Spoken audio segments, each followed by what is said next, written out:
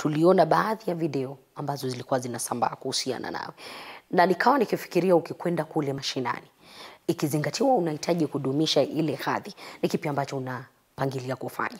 Ninaeleza watu mwelekeo wangu wa kisiasa, uadilifu wangu na matarajio yangu nikiingia serikali nitafanya nini. Hii video unaweza kusema kuwa ilikuwa ina kuandama kisiasa?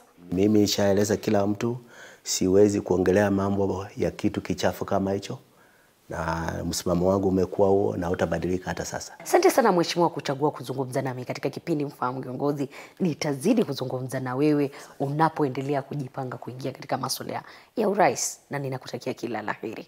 Shukrani za dhati kuchagua kutegea TV 47. Mimi ni Elizabeth Mutuku.